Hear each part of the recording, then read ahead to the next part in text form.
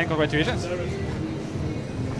Well, look, uh, we were talking about what you wanted this week. It's already a good start. tell us, uh, tell us about that sprint. Yeah, it was. Uh, yeah, for sure. We wanted to uh, come strong with uh, two young guys, and so we, uh, yeah, we were able to come here and to win with Paul today, riding for him. Both of our first day with the team. It's, it's incredible. Yeah. Can you describe us a bit how you managed this last kilometer? It was tricky. Yeah, huh? it was really tricky. Everybody quite fresh, really fast day, and we were able to come on the big road with some strong guys, and yeah, Moscon and and then Lamperti in the end took us straight uh, to the roundabout, and then yeah, from the roundabout I was able to go to the last corner and pull from the last corner to the line. So uh, yeah, you could say almost it went perfect for such a messy sprint. Thank you very much, well